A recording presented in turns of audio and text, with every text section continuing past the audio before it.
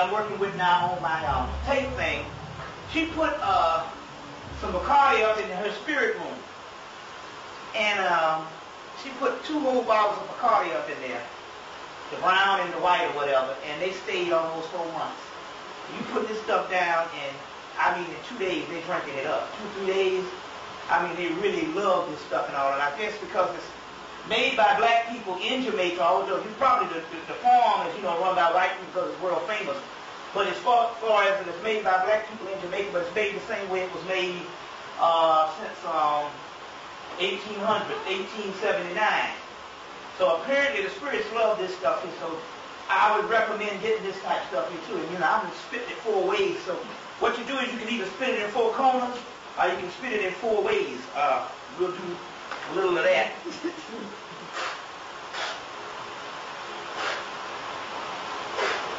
or you can spit it in four corners. Now, I've been spitting this stuff. This is some strong dark rum. I've been spitting this stuff all summer and around and developed a dog on a quiet taste. but I messed around and I was spending it all summer. And then at the end of September, boy, I was I was up in the house and I was drinking some liquor or some shit, and I was like, the expression, but I said, this ain't doing it. And I drank this thing here, and I believe I was on a whole other realm. I took me two shots of this, and I was, I believe I was on Syria somewhere. But anyway, uh, there was some sisters in Detroit. They were like it was like seven day Adventists for all their life. And then if, I, I think the spirit hit them, and they decided they wanted to get into some consciousness. So they had some kind of way in the church that they test things that was wrong or bad for you. And this thing passed the test. Uh, apparently passed the test and all. So uh, uh, we know down in Haiti there's a reason why they spit the wrong, but then again on the other hand, we know that all the distilled stuff up here has got to be tropic. Who knows what they're giving the people? So if you're going if you're to dabble in the spirits, because the word because liquor means the, the, Latin word is spiritus or spiritus. So or spiritus. So if you're gonna dabble in something, get you some real deal stuff from it's made by black people in the islands or whatever and stuff. You see what I'm saying? And um, apparently it, doesn't- it, it, it, it must be good because all of the spirits love hell out of this stuff here. So um, so uh, after taking a couple of sips of this. Uh, after taking a couple of sips of this and that's all I can sip on whenever. But that's uh, uh, that's if you dabble in that. Um, I was saying it's interesting. I said because if I would have known about this when I was 20, I'd probably been an alcoholic by now. But thank God. But anyway, what we're gonna do, uh, we're gonna uh, recap some things we'll be talking about tomorrow. Um, I'm gonna be dealing with, and which is very special here in Cleveland, since we know that this is probably the Moorish capital of America when we talk about the whole, the whole made and the whole, uh, the whole aspect of the whole Moorish Noble Ali uh, phenomenon. Uh, we know that here in Cleveland is probably the capital, in Ohio is probably the capital of those particular teachings being preserved, and that is for a reason. And it's also a reason that we understand that it didn't flourish as big as the so-called Nation of Islam. You know what I'm saying? International, because also we know now that what we have now is things that have become mass movements are becoming saturated. And they even did a study, the Jung Foundation did a study, a book called The Allure of Gnosticism, edited by Gene Siegel. They did a study on, when they broke down things, they said, well, what would be evil in this society if you break down things um, from the ancient world to the modern world? What, what would be one of the main evil forces? And they, and, and the whole society came to the conclusion that it was organized groups. Because something about organized groups after so many members, always something goes wrong. You know, the goals and the objectives at first is great, but then all of a sudden, you know what I'm saying, you, you got too many Indians and no Indian chiefs, or too many Indian chiefs and no Indians. So I, something about the organized groups always goes astray. And which I would actually agree. If they talk about what is this modern evil, then it would be organized groups because that's what you have fighting. Now there's an occult war that is going on all over the country, which is very key. The guy wrote a book called The Zelator. Mark Hedsel. Mark Hedsel. It's a book that came out in this initiated. He wrote this book um, and he died in 97. So there's another guy came in and took his biographical notes and put almost 100 pages of notes in the back of this guy's book called The Zelator. Which was interesting about the guy because I noticed in the bibliography, he didn't put a bibliography, but the bibliography is, uh, is in, introduced into the index. And I was noticing something, he used Gerald Massey. Now that is, you become persona non grata by using Gerald Massey. Only black people use Gerald Massey. But white people can become persona non grata for using it. They have this thing in this country which is a way that they ban books. And simply banning book is not putting those books in your bibliography on the collegiate realm. Or any other realm that you have, if you just exclude things from the bibliography, then it doesn't exist. You see. So Gerald Massey is persona non grata for all of the European scholarship. So anytime you see a white boy doing it all, you know he's trying to set the record straight and save face. So this guy died in 1997. And I was in, I was up in New York and um, I, I picked up the book, I put it down, came back the next day in some place, picked up the book again, looked in it, put it down. Went to New, went, came back to Atlanta, went to Waters bookstore, picked up the book again, put it down. And the next day I found a brand new book in a used bookstore and I said, wait a minute, the Spirit must be wanting me to get this book. And anyway, I got the book and I just start seeing these terminologies that I only see in black books and mainly only see used by Gerald Massey. So I said, wait a minute, this white boy is on to something. So when I started reading the biographical notes of the guy that came in and had to put this guy's book back together, he actually had to come in after the guy died and he had to actually, because the, the, the first part of the book was like an initiation. The second part of the book is a real scholarly adaptation, but it has Sorry. almost 100 pages of notes. Um, uh, 100 pages of notes. It's um, just, it, it, it kind of reminds me of that book, Melatonin, Melatonin, your um, body's own, I, I think I introduced it last time. Melatonin, your body's, uh, the body's own wonder drug, melatonin. But in the back, you have almost 30 or 40 pages of bibliography, and, it, and we're talking about the most advanced research in the country is done on melanin. I'm just talking about this literally thousands of agencies converging at one time to do this thing on melanin.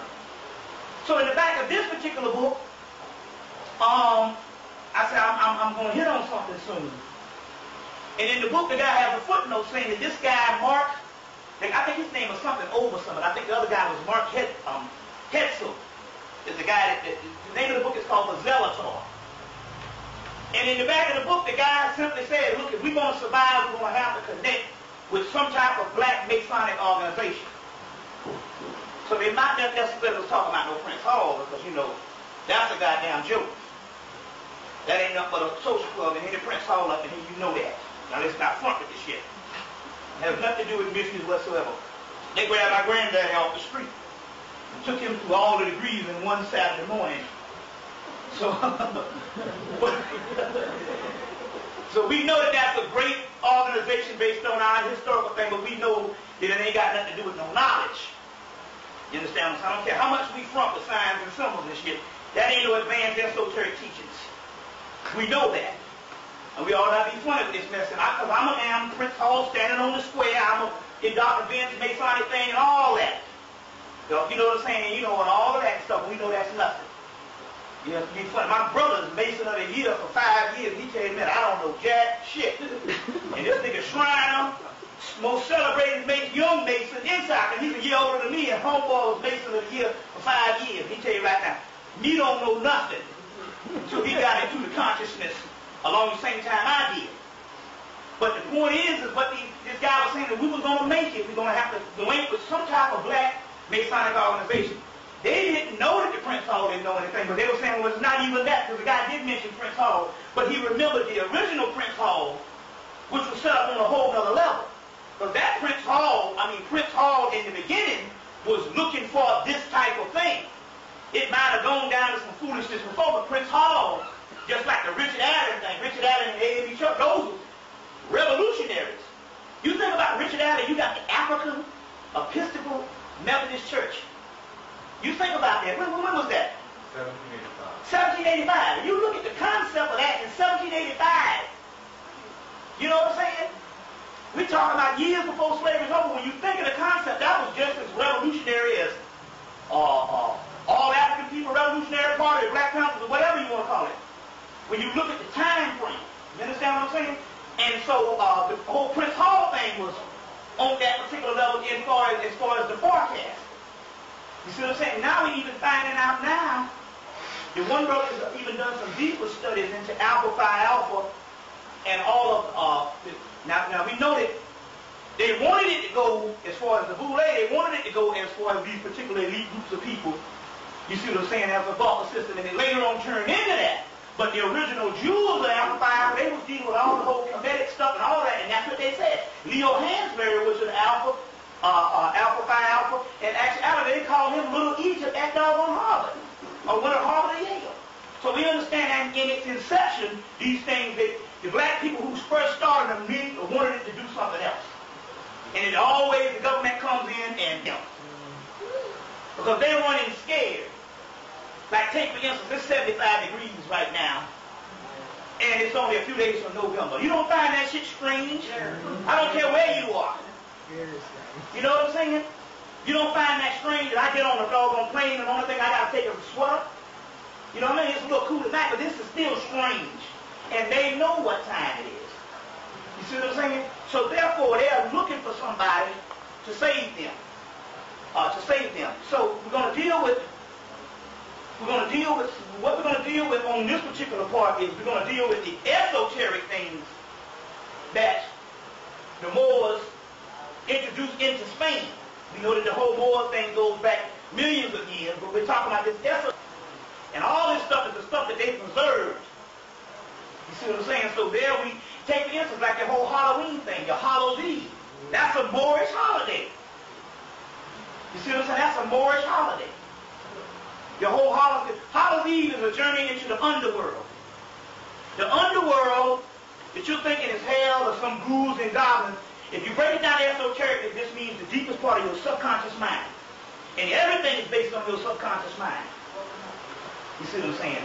What you call light is only a reflection of the subconscious aspect.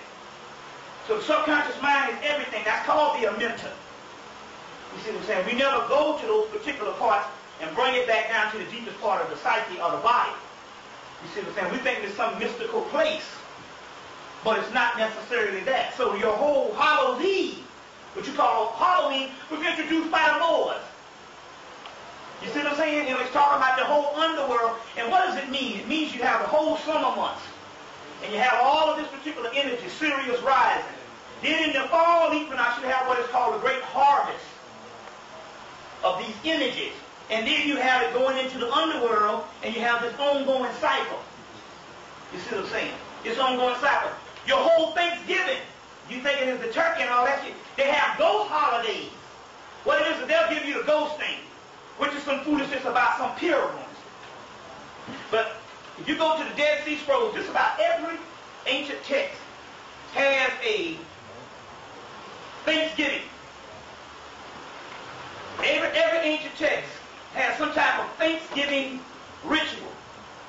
So apparently this is some type of conjunction at that particular time. So what it is, these secret societies, based on what the Moors have brought in, is still doing the same pattern of some type of ritualistic worship that was taught to them in the 16 universities in Spain, and uh, in Europe. So is it something we should be doing? Well, see, we get into that. And so what they'll do is they'll give you the foolishness, the turkey, the pumpkin, the whole thing with the Christian Jesus Christ thing. Meanwhile, there's a great esoteric junctions of it up under. And they're going and doing some stuff based on the spring equinox, fall equinox, winter solstice, summer solstice. And in so many words, you cultivate energy, and we'll get into another part. One part about this is, and we'll, we'll deal with this also too and all, um, there's one applied art that we that, that, that most organizations don't know. There's one applied art as far as the way of action to get you the most energy, and that is sexual energy. We'll, go, we'll, we'll deal with that in a few minutes. Um, but anyway, what you have here is you have uh, what you have here is you have these particular uh, energy frequencies, spring, spring equinox, fall equinox, summer solstice, winter solstice. All this stuff was taught to them by the Moors, and they still have this stuff preserved and still going on, but yet they give you the foolishness. You see what I'm saying? Blue moon, new moon, full moon. I mean, it's just tons of this particular stuff. In so many words, they're dealing with it on the whole occult level. And um, what they call it is they just call it New Age. And all of this stuff is out of the runes. Those little, little rocks they throw, the runes. That's all coming out of all coming out of Kemet. Um, and brought up in into brought up into, into Europe by the Moors. So your whole uh, your whole room thing. Um, I mean, we just talking about various of disciplines. Your Tarot, um, just about um, and one great thing is this whole Grail mythology. You they talk about the whole Grail and the King Arthur's court and all that stuff. We'll get deeper into that particular one. King Arthur's court is supposed to be a court of a new Egypt. The word Camelot means Cam, black, means black light. Black, and it means new place somewhere in the future of an extremity, they call it, or, or an appendix or an annex of the original people supplanting in a new world.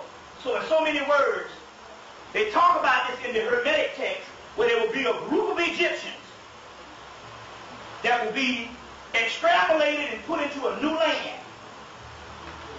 And those ones will bring back the kingdom.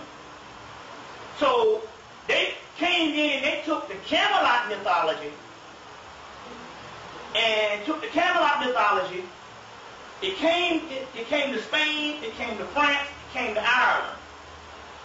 When Britain conquered Ireland, they took the mythology and started calling that damn self Camelot and King Arthur. And it was Moorish science of people in the West. The word Osiris means West. Osiris, in, in the West. So they were talking about a new group of people, a very remote and ancient people. That would be a sick people. That's called a fisher king. A wounded person psychologically. A very sick people. So sick that they need cosmic influence to save their ass, because ain't nothing gonna help them down here. But some divine influence. Now you know damn well they can't be talking about us. this is the mythology of the whole fisher king, the hurt king. But fish, Christ. Pisces, Christ, fish, the fisher king, ancient race of people.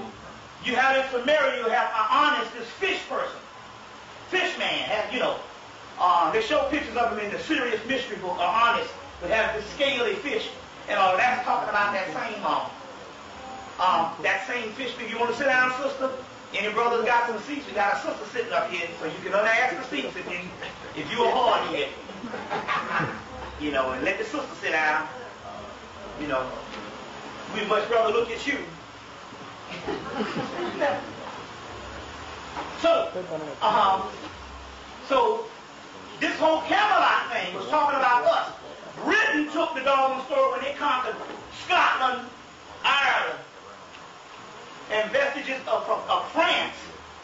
Because they had these wars for 100 years with France.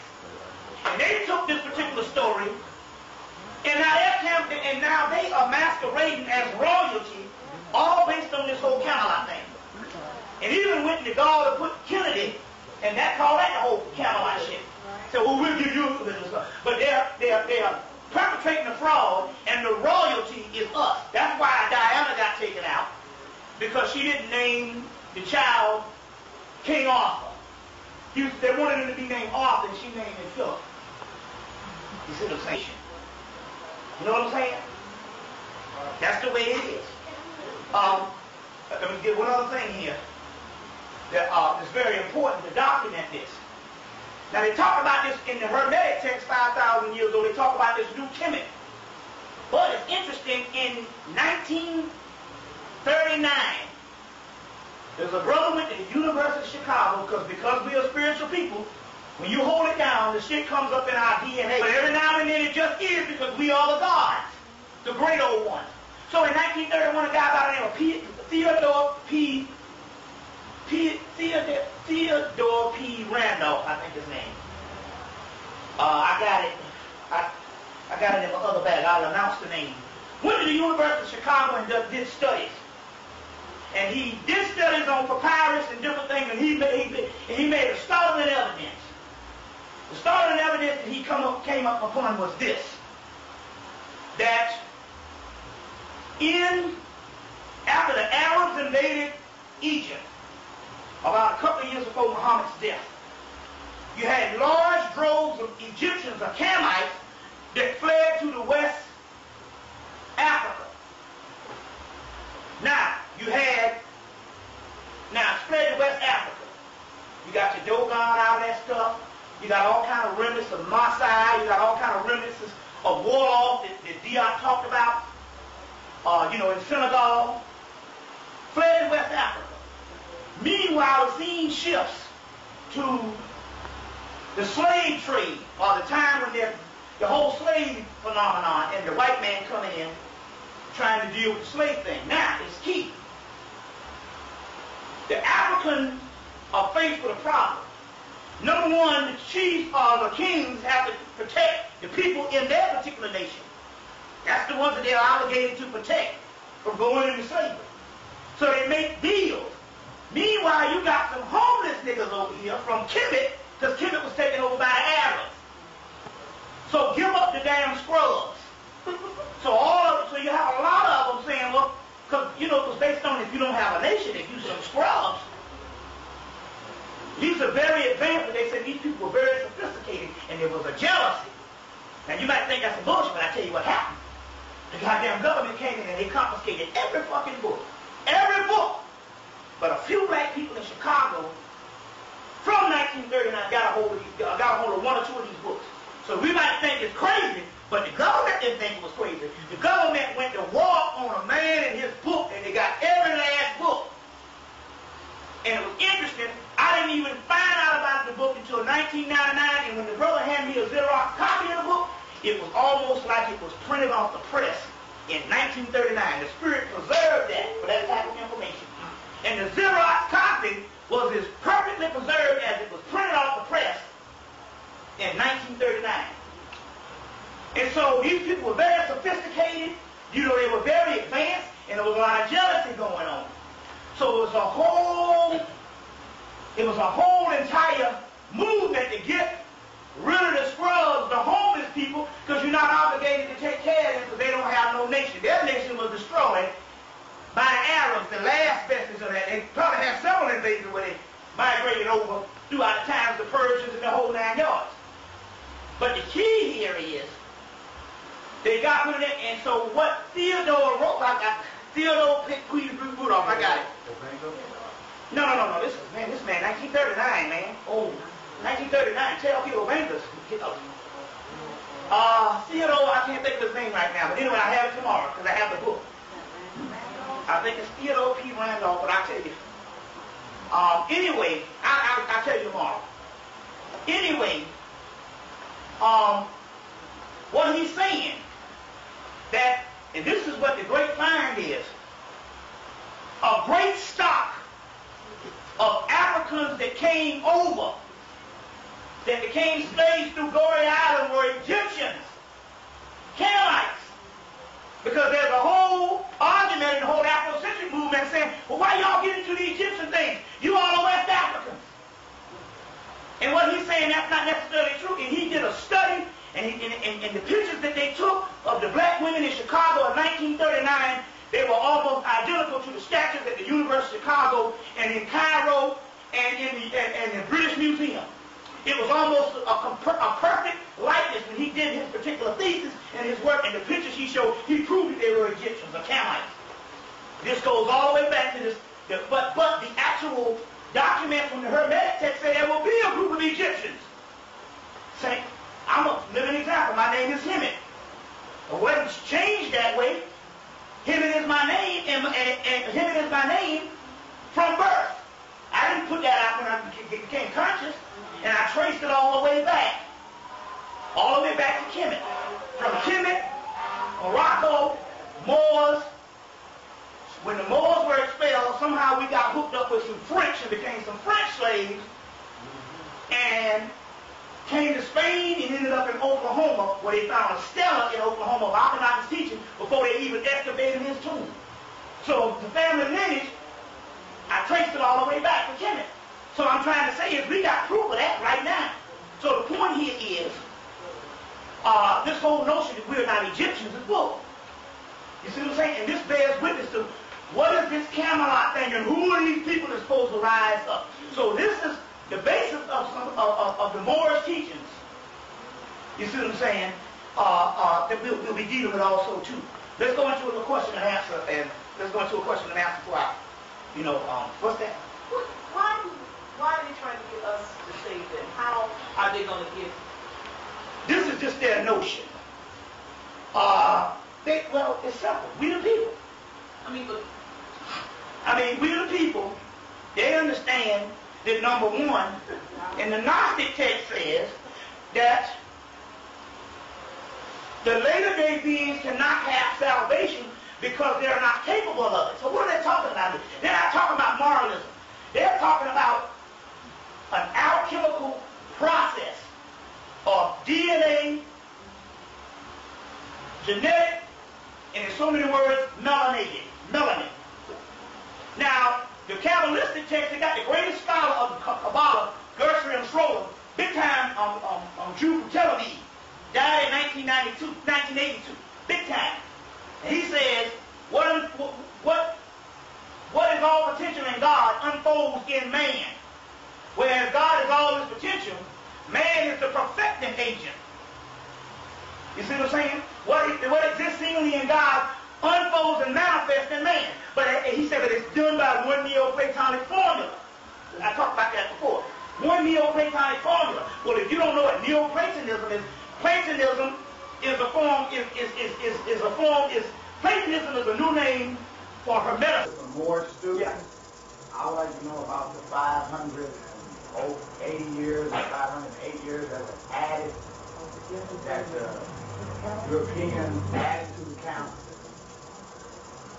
Um, my research on the calendar I can say is, but um, because there's, there's so much discrepancy on this calendar thing. My research is that the majority of the ancient calendars ran out about 1990, 91, 94, no later than like 96 or 98. Even when you talk about the, the Chinese calendar, which would be closer to an indigenous calendar, they're already in what 2003 or 4 or something like that. You see what I'm saying? But um, in so many words, in so many words, if you're not talking about really this chronology, because that time gets real messed up. The greatest event that, that the Africans talk about was that Dogon Sigi ceremony, because it was a great conjunction period, and it's talked about in the book, um, the book that they banned. Now they banned that book for years until I found it in '93, Celestial Ship of the North by uh, E. Valentia Straiton. And in that book, uh, on I think page 17 or something, they talk about Africa will not have a, earthly, a, a change of an earthly condition until there's a great conjunction of Mars and Saturn in Africa by Africa. Well, the great conjunction of Mars and Saturn was the Sigi ceremony of the Dogon, April 23rd, 1993. And lo and behold, 1990, 1994. And lo and behold, the same damn day they had the conjunction on the, the Dogon or Sigi ceremony had that conjunction. And that great Sigi dance. They had the Freaknik in Atlanta on the same damn day. So they had niggas in the doggone Africa getting down, they had the young people over here getting down the same damn time, the grand fashion, and fucked them up. And the next year, Vernon Jordan came out and said, we must stop Freaknik way out in California. And the Freaknik is in Atlanta. Know why the hell you going to be talking to a Boule meeting, talking about stopping Freaknik in California because you under the heads of Bill Clinton and the Skull and Bones. And fucked them up so bad that they couldn't take it. They said, oh man, what are the odds of the Dogon doing the Sigi ceremony, and what are the odds of this freaknik? And see, it was before the freaknik got, this was before it really got crazy. It was just college students, but it had gotten big. National. National. This freaknik was going on the same day and scared the shit out of them. What is it? What is supposed to mean? It's a spiritual thing. How is it these people, these, these Africans saying that they're supposed to do two dances? They have the birthday of Osiris and Kemet, which represents a 100 and 120 years. And there's two 60-year periods of Dogon and two Sigi ceremonies in, in West Africa represents one Hindu period in in, in, in Kemet, and the, the one Hindu period in Kemet is 120 years, represents two Sigi ceremonies of 60 years in Dogon. They said after they did the second Sigi ceremony, because the other one was like 1930 something. After they did the second Sigi ceremony, it was all over. Well, lo and behold, the same time they were doing the second one, they was over in damn Atlanta. Doing the same. Saying it's, it's, think about it. It's spiritual. Just, I want you to process here. Think about it. Think of how government is thinking. And thinking how these, these people coming together for a spiritual dance to line up some shit. A conjunction in the universe. To line up a ritualistic thing to line up Saturn and Jupiter. Jupiter is called a light planet. Saturn is called a black planet. That's that yin and yang thing. Polarities coming together. Also coming together in us, a light particle with the black substance, which is melanin. But do you know that the American Indians were doing something very similar? Well, but no, yeah, the American Indians, but I'm still talking about the white buffalo was born in September of the same year. And the Shoemaker-Levy, shoemaker leader nine, this thing crashed into Jupiter in 1994. Plus, the Matrix book said that they had these white scientists that sat around tables uh, around all these people. They did all this remote viewing and all these calculations, and based on them, all of their calendars ran out in 1994, including your Elizabeth Clare Prophet. She might be crazy motherfucker, but she got a whole bunch of people working for her. Yeah. Elizabeth Clare Prophet book, The Apocalypse, the, the Astrology of the Four Horsemen, her book runs out in 1994. And the OJ shit starts on Juneteenth almost, 1990. What is it? Juneteenth to June 19th. Yeah. Uh, I think the great chase scene started around the same time. All that stuff was all figured in because, you know, the government threw that together. But the point I'm trying to make here is, as far as the calendar and stuff you talking about, the they said, well, what's going to happen? They said, well, it's all over. They said, well, hell, we still here. They call that a null period, which is like a leftover residue. around the world, and I did that. Yeah. And while you were traveling, you read newspapers to the media and. Yeah. It, it, it dawns on you yeah. that when you come back here, right. there's another whole But see, that's the reason why this is a penal colony.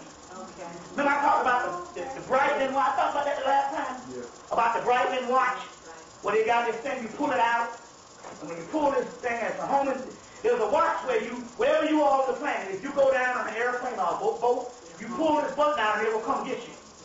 But the, the, the watch is sold everywhere except the United States. Why? Because the United States is a penal colony. You see what I'm saying? and they separated, and so therefore, it's a prison. You can't have no damn homing device come in and locate some motherfuckers in prison to bust them out. That shit ain't happening. So you can't buy a Breitling watch, but it's the same watch that when in the movie The Skulls, when they went over, they got a Breitling watch. You see what I'm saying? They got a Breitling watch and stuff. It's like the elite shit, like everybody know about the Rolex and shit, because the rappers talk about that, but the high shit is the Breitling. You know what I'm saying? You go to New York to get an imitation mark off for a hundred or fifty, and people be glad you white boys be buying that shit up because they know the fifty dollar watch gonna cost five thousand. You see, it's gonna cost five thousand and all, you know. But the key here is the reason why they couldn't, they didn't want to sell the one here. You can't buy it in America, and if you pull the button, if you go to counter and buy and pull the button here, your ass go to jail. Because you're trying to break of prison. So this is a whole penal code. What's that? No, no, talking about all the catastrophes. I, I, I, I really, I'm so busy all the time on how they look at the news, but I like this from national news. So saying the other day I'm watching Dan Rather, and he said, uh, unbeknownst to the calculations of the scientists, they had made error in the calculations that by the year 2010, the, the average temperature of the Earth will increase about 10 degrees. I said, do they know what they just said? Do they know what 10 degrees means? You know what I mean. About four inches in the ocean. Ocean, El Nino, ozone layer, cancer. Oh, I know it's hard as hell now. Saying 10 degrees. more ten, so we talking about the fried.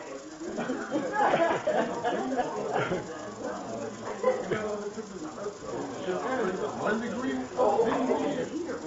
Yeah. Well, you know, the Bible, you think also that, that you, you believe things. This. Uh, what's that, brother? Just to add to what you were saying, that we're in prison, that's why only Americans have social security now. Right, okay. Everyone else is not issued Yeah, one except us, or license, Yeah. something that's God-given. They, Exactly. they took the God-given right from you and made it permission Right. from them. Exactly. Where you're in penitentiary and you don't even know it. Yeah, But you feel you're free, so we're really in, well, I'm not, but, uh, yeah, I feel, but the people, they're in prison and they're comfortable. Comfortable, yeah. comfortable in hell. And just bring up, uh, it was said that, uh, the, uh, words, a lot of words of language and words period have been changed because, uh, the R-I-C-A in America is in Africa, and also this is northern Africa. I mean, We have mountains up and down in, uh, Mississippi, the Ohio rivers, and we were over here also. Yeah, statue. Period. That's common knowledge. Right. Um, you alluded to the own, was that, was that in contact with the, the, the fishing king paradigm that you talked about? Um, yeah, the Fisher King thing is they're talking about these fish people. Right, like merman. And, yeah. Um, and then they talk about that Oannes or whatever that thing Omen is. and the Yeah, yeah, right. Also, and, and, and, and uh, also the Nommo and also the Dagon. We're talking about the Dagon. You, all of that is alluding to those ancient symbolic races of people. Right. Also, you know the word Okay? I thought you had, was speaking of that in the negative context. No, no, no, no, no. I was talking about, no, I said the Fisher King, Really good on it. no, the Fisher King Uh, is the Christ people. right, right. Now, I'm talking in the negative context and all. As a matter of fact, the word mermaid, do you know that when you break this stuff down, mermaid is another form of melanin? Mermaid, Melusine, water nymph, and even muses, where you get the word music, or a muse, a museum. Yeah. But all that is called creative physics, and all that is also, in alchemy, that's all talking about melanin. Yeah, but, Yeah. uh, that was, uh, the same perception I had got, that this went beyond, uh, a fantasy into biology and genetics. and Exactly. Materials, Exactly. allele, Exactly. mutant genes and, Yeah. and, and, and normal genealogy. Yeah, they train, they train, they train the average person. That's just some foolishness. Right. Even the what mythology is the most advanced science on the planet. But they train you from a child, or that's a myth. So you thinking, just even my mother, big time school teacher, I'm trying to explain to her Isis and Osiris. She said, that's mythology. No, motherfucker, Jesus is mythology too. It's just they historicalize that. Just they sublime mythology, they grotesque history. They took some his mythology of Dionysus, Osiris, Vishnu, Krishna, and they historicalized it into this Jesus thing, and that's what we can't understand. Mythology is more advanced than history. You see what I'm saying? Because it's universal and explains a deeper as aspect of it. But they're train you that mythology is like uh, fairy tales. Yeah. Hansel and Gretel and shit. Old lady lived in a damn shoe.